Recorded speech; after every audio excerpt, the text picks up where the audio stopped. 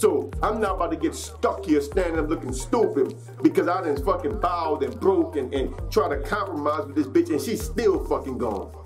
Hell with that. To hell with that. Don't compromise. Don't bend, don't fold, don't bow. Fuck them. Walk this bitch alone if you have to. Walk this path by your damn self. But you stand on your principles. You stand on your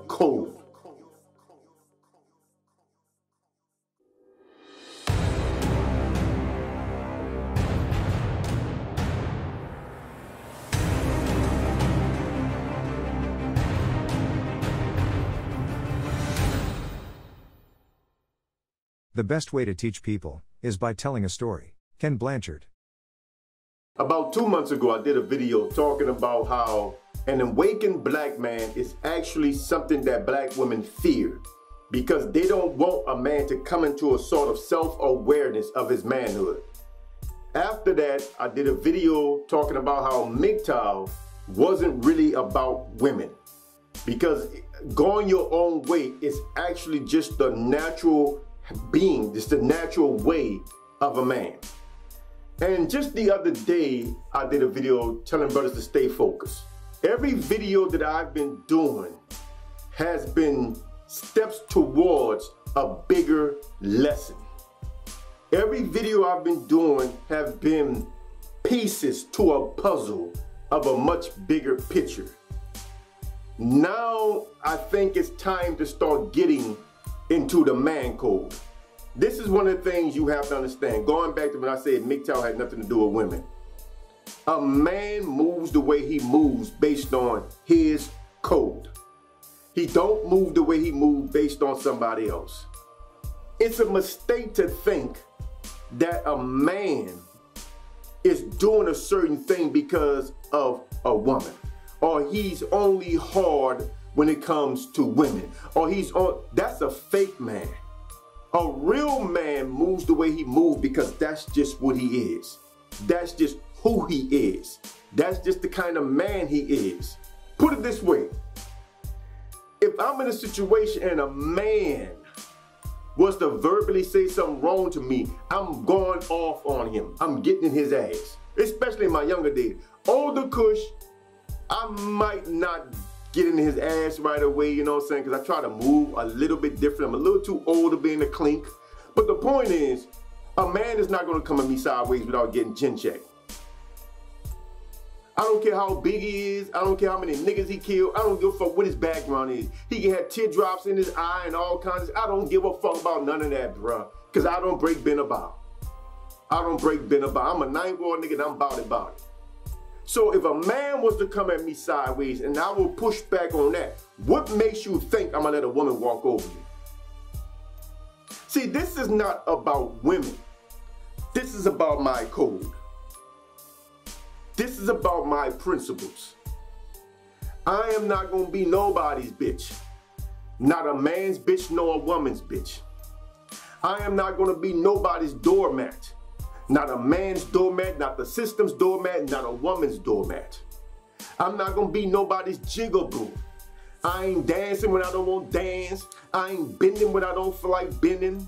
I ain't doing shit for nobody that I don't wanna do. I'm not about to be that dude. We are already boxed in this system through work. They have already enslaved us all throughout the need that the, the, the, the need of money the need of capital so that we can buy things that the earth actually gives us for free. And they've been figuring out ways to limit our access to natural resources over time. And until we, and we don't wake up soon, this is what I'm talking about the man code. If we don't wake up soon, we are really gonna be in a situation where we're gonna have to fight. And the crazy thing is, these devils got dumbass psychopaths on their side that will fight on behalf of them despite not getting no benefits from it just because they have this need to hurt people. And, and if we don't wake up and deal with this stuff while we still can through the political system, we are going to be left with no other choice but actual revolution. And then all of these dudes, all of these high value men that y'all worship, these niggas are cowards. They are not going to be on that front line fighting with you. They are cowards. They are only bad when it comes to women. They're only bad when it comes to talking to somebody that, that that's physically weaker than them. They don't challenge other men. As much as I don't, you know, care for that dude in the red pill community, Andrew Tate, he was a fighter. He was a fighter. He at least would get up there and fight another man hand-to-hand combat. Says a lot about him on the inside. Regardless of what I think about him and this whole red pill thing, he will fight. So when it comes down to it, we are we are so we are being led by the sorts of men that have no code. We're being led by the sorts of men that if you pull a crime off with and they get busted, they telling on you. Do you know why we don't snitch?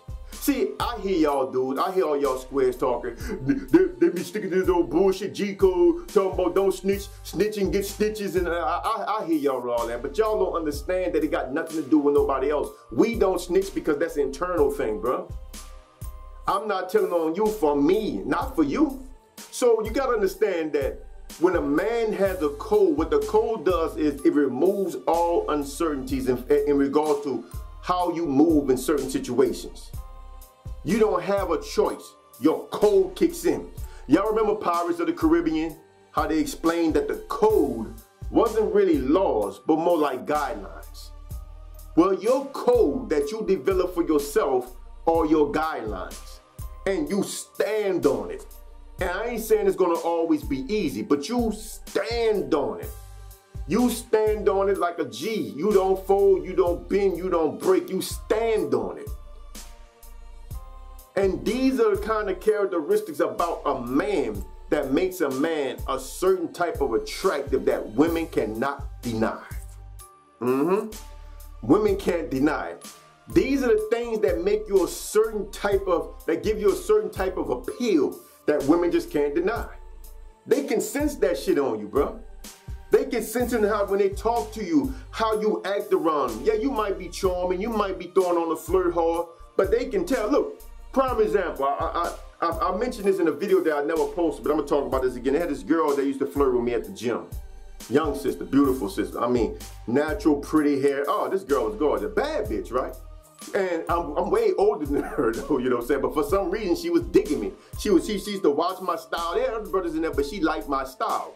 So she started trying to get my attention. She got my attention eventually, and I walked over and talked. Now, she never made the first move. Remember, I talked about this position of power. She never actually made the first move, but she did everything to let me know she's trying to get, get my attention. I mean, she would walk in of me, pull her, put a little jacket, let me see them shorts on the ass, and flip her hair, you know, made sure she pulled her hair down right in front of me. I mean, long, pretty. I mean, it was bushy, but it was long, you know. I mean, gorgeous girl, you know. And so I eventually went over there and talked to the young lady. We exchanged numbers, you know, and talked a little bit. But now, here's the thing. I made the first move, so the ball was in her court, so to speak, right? And she was like slow, right? I mean, it's like like like shit wasn't happening like like at the pace I like, right? So I just stopped calling. I just stopped texting anything, right? And I was still seeing the gym, but I wouldn't. Now I'm not even speaking to her. At first I was saying hello, you know what I'm saying. Then after a while, I just stopped talking to her. Now she noticed this. So one day she come over and like, what happened? What did I do with you? And this is what I said, real story. I said, look, you went out of your way to get my attention. Oh, what you want? We ain't gonna play games. Just stop. Just let hear me out. You went out of my way to get my. You went out of your way to get my attention. You got my attention. I talked to you. We exchanged numbers. We talking and whatnot, right? I said, but now when I reach out, you wants to respond when you want to respond or don't respond that day and all this kind. Look, I'm not playing these games. I did all the chasing I'm going to do walking up to you to talk first. That's the extent of my chasing. That's the extent of my running after you. I ain't doing no more. If you like these fuck ass niggas that's gonna chase you around, I ain't the one. Now, now what? Well, I, I didn't mean it like that, Kush. I, I, I didn't mean it like that. I'm, I'm sorry. I, I, I'm sorry, you know, and everything changed. And everything, everything changed. You know what I'm saying? And I'm old enough to be a daddy. Everything changed. But my point is, I let her know I ain't playing this game with you. Because I have a code. Yeah, you beautiful. You young, you look good. Hey man, it makes me feel good that you even, you know, through yourself, you know, like try to get my attention. I mean, I'm on cloud nine, you know what I'm saying? I, I ain't smashed nothing look like you in a long time, you know what I'm saying? I mean, fuck. But don't think I'ma chase you, bitch. I don't care how good you look. I'm Kush. I am a man. And I'm not about to violate myself for nothing or nobody. If you want to play, you got to grow up to play with me. If you want to deal with me, you got to come up a level to deal with me. And this is the thing that makes me attractive to women. Because when they see a man that won't bend, break, or bow, they be like, whoa, because all you niggas are so weak. Y'all make it easy on me. Y'all so fucking fickle, y'all make it easy on me. Now don't get me wrong, and I want to put this on the record. I honestly believe that had I not met my wife that I have right now today, I more than likely would be single. Yes, I do believe that. Because the women have gotten worse and worse and worse as time has gone on. They haven't gotten better. I would either have to meet a foreign-born woman or I will be single. I do believe that. So this is no this is no slight to none of you brothers that are single at the moment because I understand that it's not really your fault. You're dealing with elements here that not all of which you have any control over. I get that. But you still need to have a man code. You still need to have a man code. Because the man code is the only thing that you can stand on in times of uncertainty to know which way you should go. Because we all know what we should do. The problem is doing what we should do. That's the problem. And I'm gonna repeat that. We all know what we should do. The problem is being strong enough to do what we should do. Think about it. Develop your man code. Remove all uncertainty. Remove doubt. Remove fear. Stand straight. Stand proud. Stand strong. Develop your code of principles and you don't bend, break, or bow. And you already know what it is.